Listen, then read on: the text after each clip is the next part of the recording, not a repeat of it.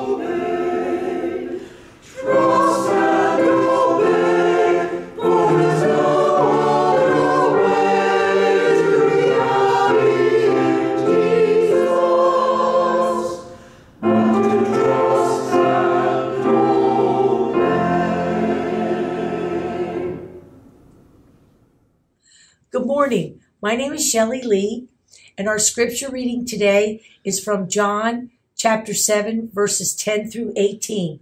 Jesus at the festival of booths. But after his brothers had gone to the festival, then he also went, not publicly, but as it were, in secret. The Jews were looking for him at the festival and saying, Where is he? And there was considerable complaining about him among the crowds, while some were saying, he is a good man. Others were saying, No, he is deceiving the crowd. Yet no one would speak openly about him for fear of the Jews. About the middle of the festival, Jesus went up into the temple and began to teach. The Jews were astonished at it, saying, How does this man have such learning when he has never been taught? Then Jesus answered them, My teaching is not mine, but his who sent me. Anyone who resolves to do the will of God will know whether the teaching is from God or whether I am speaking on my own. Those who speak on their own seek their own glory, but the one who seeks the glory of him who sent him is true, and there is nothing unjust in him. This is the word of Lord of the Lord. Thanks be to God.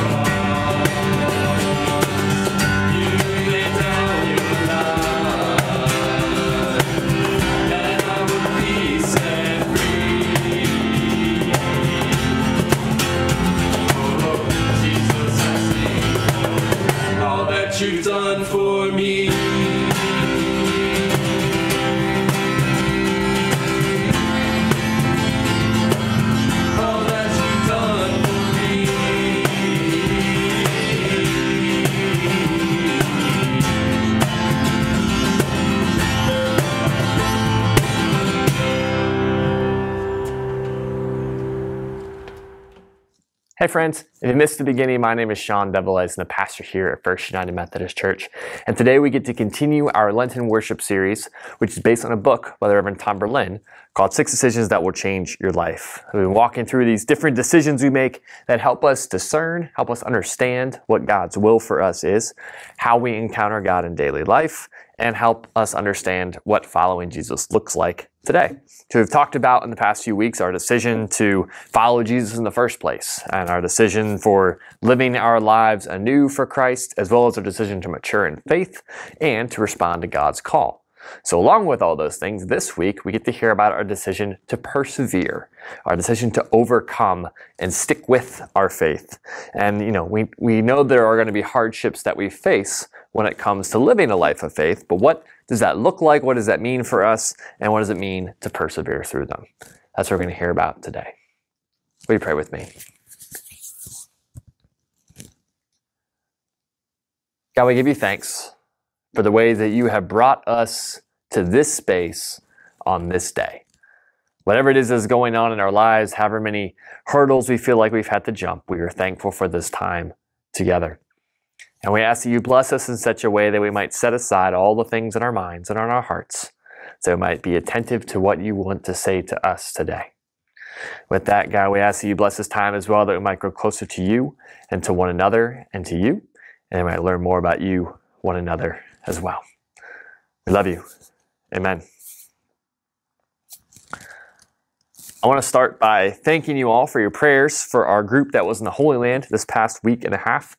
Uh, it was a wonderful experience. I've learned uh, a ton, which is even, you know, for, for going to seminary to still learn so much when you're in a place, uh, meet a bunch of cool people. And my jet lag has been reduced to simply questioning what part of the day it is rather than what meal I'm supposed to be eating for whatever that's worth, right? Uh, we also had an overnight layover on the way back in Istanbul, Turkey, which was my second time time spending overnight hours in an airport. Uh, far more fun this time because the first time was when I was traveling to Jacksonville by way of the Charlotte airport in 2019. Uh, Katie and I were traveling to see my buddy Mike get married to his now wife Gina, and the plan was to leave on a Friday afternoon, get in late Friday night, crash at the hotel, wake up well rested the next morning for all of the fun that we were supposed to have. Uh, and then, by some curious happenstance, our flight out of Dulles was delayed about 47 minutes give or take. Uh, you see, there were technical issues, them being one of the crew had gone to the wrong airport. Uh, they went to Reagan instead of Dulles. And, you know, no worries, I told Katie. I'm sure American Airlines won't let our connecting flight leave, considering that both our current flight and our connection were American Airlines flights. And when I looked on the app, the gate at Charlotte was right next to the gate that we were going to be landing in. So we go ahead and board the plane, right? And we arrived five minutes before our connection was to depart. And I thought we had like done this miraculous thing. It was gonna be a great story. And then we discovered that not only did American Airlines not hold the flight for us, but they let that flight leave early, which is when things got even more fun, friends, because our motley team of misfit marauders out of Dulles made our way to the American Airlines help desk to be told that no, sorry, there were no hotel or car vouchers because, you know, even if we wanted to, there were no rooms or cars available out of the Charlotte airport at that time you could cut the tension in that room with like a butter knife, right? Like it was, it was thick. And you could also cut the tension between Katie and me with a butter knife because I had told her that everything was going to go swimmingly. And then I got to tell her that we we're going to be sleeping on the Charlotte airport floor, the terminal, until the next flight would leave at 7 a.m. We did survive, by the way, in part thanks to look that Katie gave a Starbucks barista to encourage them to go ahead and make coffee at 5 a.m. rather than waiting uh, a few minutes longer. But all of that is a fun story in our past now, right? And perhaps you've been there in those travel moments as well. And it's a good indication, that kind of tension, of what we encounter on trips sometimes, but also what we hear about in our passage today as Jesus' family looks into taking a trip as well. And it's funny because this kind of tension isn't spoken of much in the church. Uh, time usually gets skipped over, or at least isn't talked about on purpose. If you look in this book called the Revised Common Lectionary, which is what a lot of churches will use to guide the content of their worship throughout a three year period, you won't even find this passage in it. Right? Like this book that's meant to expose us to all sorts of different parts of the Bible just happens to leave this out. Which may lead us to ask, why the heck did we choose to use this passage for worship today? Why would we talk about the days of sleeping on airport floors, and what does dealing with tension have to do with perseverance? These are all great questions, right? You see, our passage from the Gospel of John is one that we don't usually focus on, as mentioned, and is avoided because it reminds us of the tension that was ever present in Jesus' day. We often hear people talk about the Jews as a, as a collective group of people, and that the Jewish faith uh, was one one minded thing. But we don't always hear the Jewish people actually disagreed about how to do faith the right way, as much as the current church today disagrees on things. The theologian Karoline Lewis writes that the audience that believes in what John is saying in his gospel is actually the minority in the Jewish tradition right? In fact, part of Jesus' success is because during his time, correct interpretation of Scripture, where to worship, how to understand the presence of God, those were all things that were up for debate when it came to making sense of what God was now doing in the person and ministry of Jesus Christ.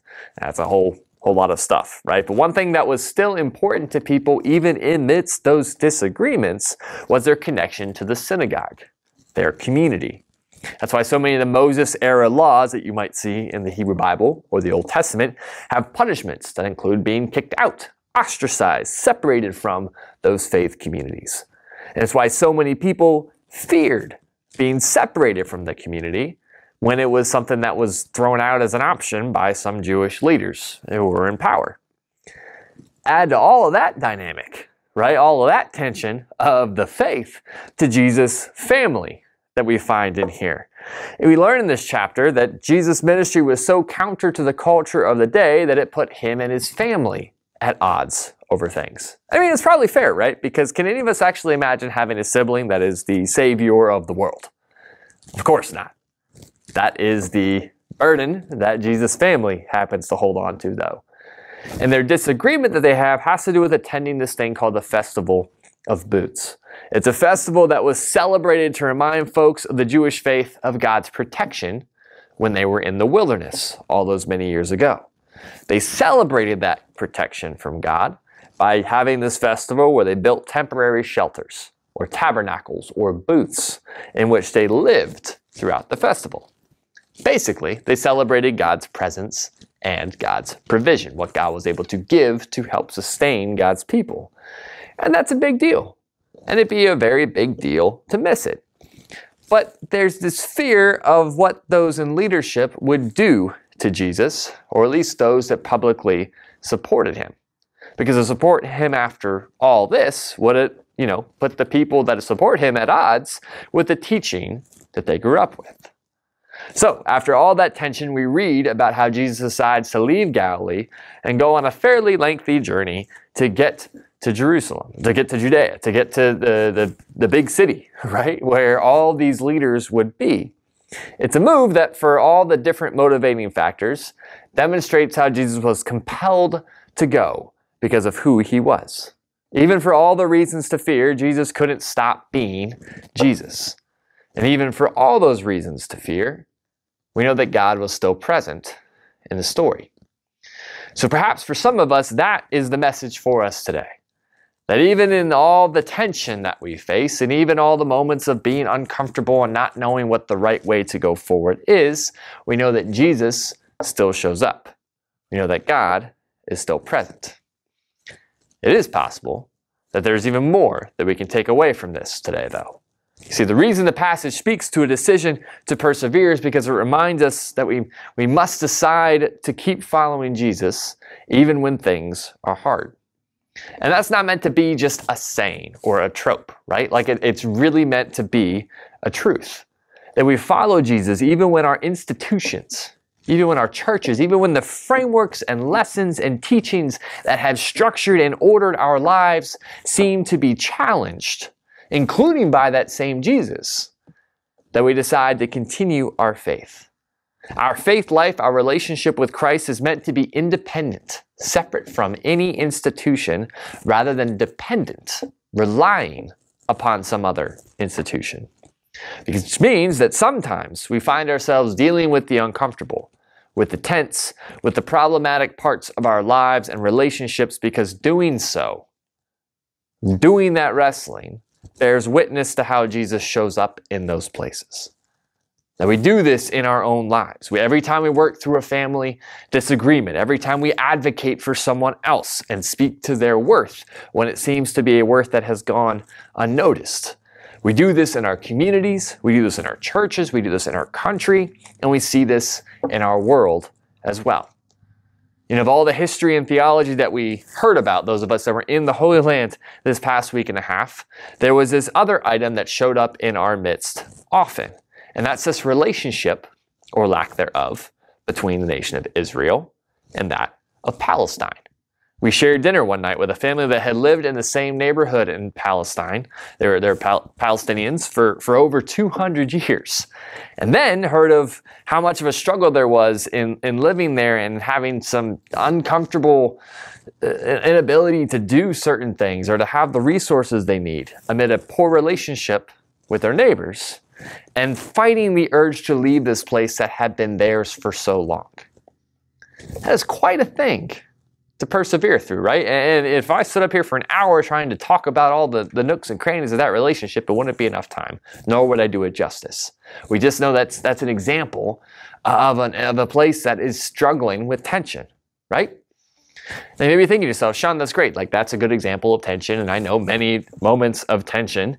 But it, when, it, when we talk about this thing being hard, what, why, why should we actually stick to this faith thing? Right? Like what makes it worth sticking through those moments of tension? When it offers, is because you never know what God can do when you simply keep showing up. Uh, a couple years ago, I attended a leadership conference in Kansas City.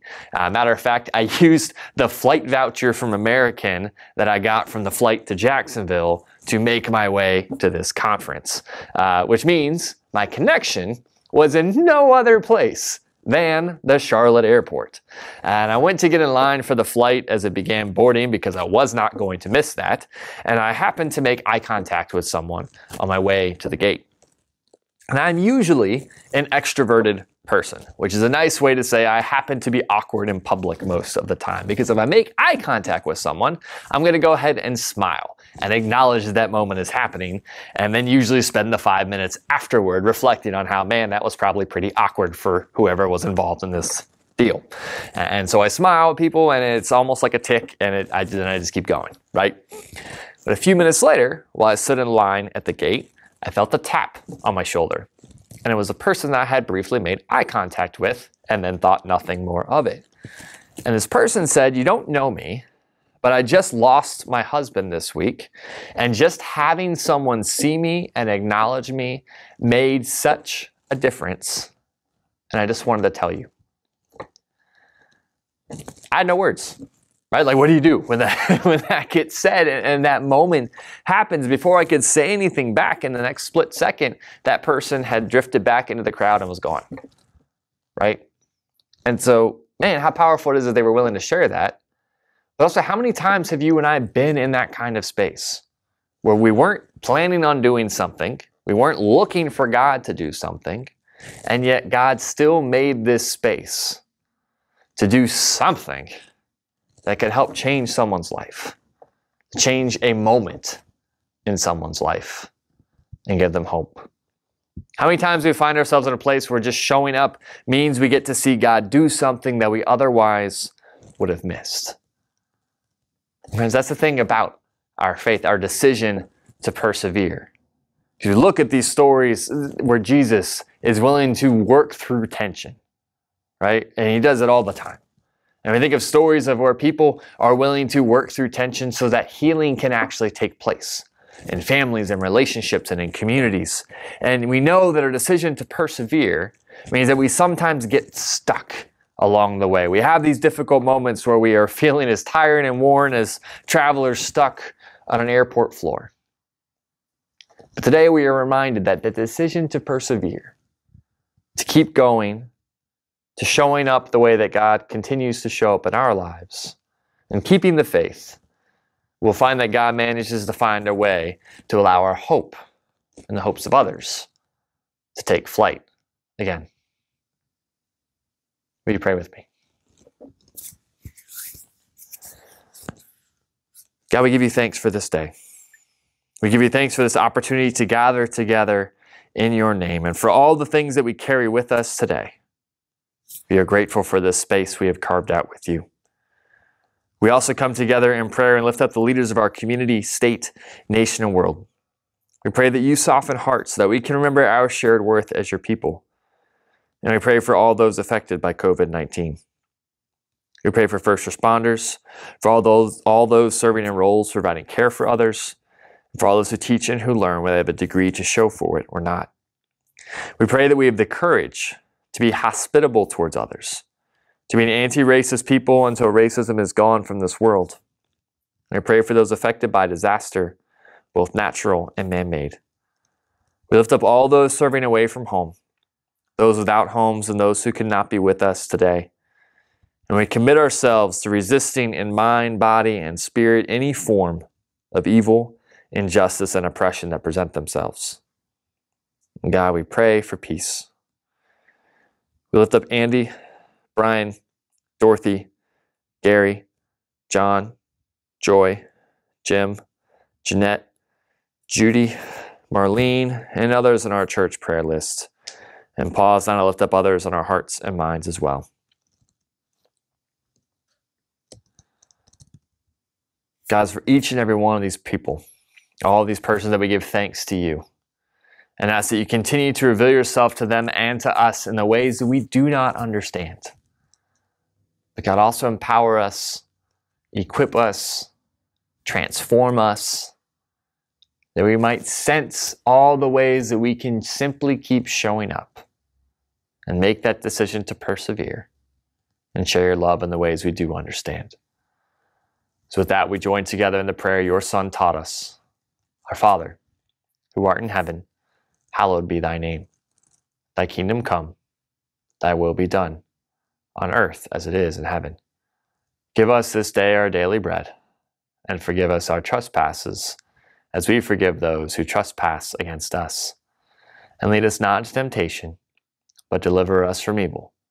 For thine is the kingdom, and the power, and the glory forever. Amen.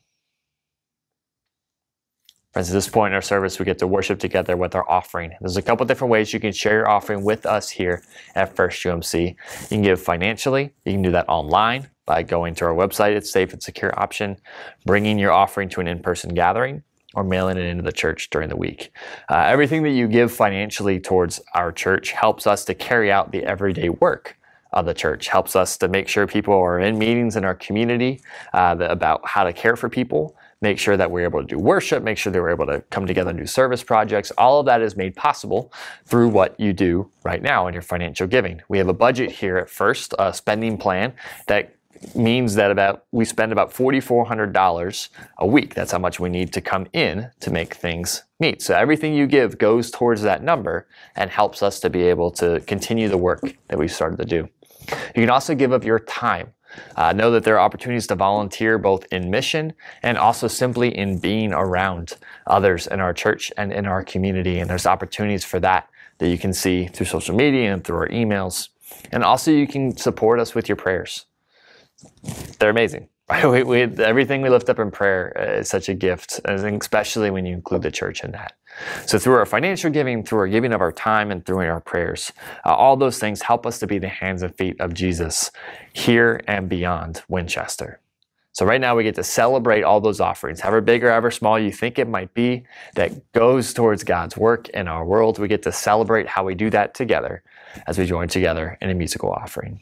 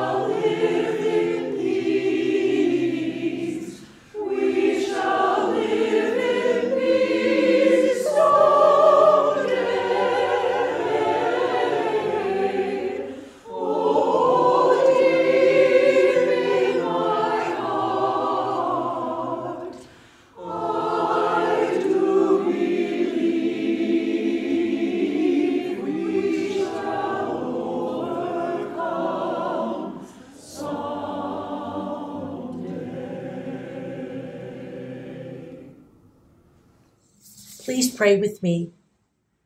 A joyful offering prayer. Compassionate Father, thank you that you are our strength and our song. You fill our hearts with joy. May we give our offerings to you with gladness and joy. Everything we have belongs to you, and we rejoice to give some of your abundant gifts back to you. Bless the tithes and offerings we give today. Let the majesty of the Father be the light that guides us, the compassion of the Son be the love that inspires us, and the presence of the Spirit be the power that empowers us. Through Jesus Christ our Lord. Amen. Friends, this concludes our worship today, and we are so grateful that we've had this chance uh, to share this time together. And know that in the coming weeks, uh, there's going to be a couple different ways for us to gather together in person as well. Want to let you know that on Easter Sunday, which believe it or not uh, is two weeks from now, uh, we will have a chance to share two services together in person along with our online worship at 11. We'll be gathering at 10 at Apple Pie Ridge Elementary School, and before that at 6.30 on our Apple Pie Ridge campus for a sunrise service. Uh, so know that along with that, we'll also have an Easter egg hunt for our families around 11.30 on our campus as well on Easter Sunday. So for all those things that are coming up as we get ready to celebrate the big Easter, as each Sunday is a chance for us to celebrate a little Easter, um, know that's one of the ways that you can get connected with us in person coming up here soon. With that, now we get to go. We get to go and make this daily decision to persevere in our faith, to continue to show up, whether we think we're our best selves or not. And so this week, may we look for all the ways that we can simply show up and be present with the people that we see each week. Because I promise you, again, that is the way that God is able to give flight to people's hopes and at a time where it's so easy to lose that hope. This week, may we go and may we continue to show up. And when we do, know that we go with a God who loves you, who sees you of sacred worth.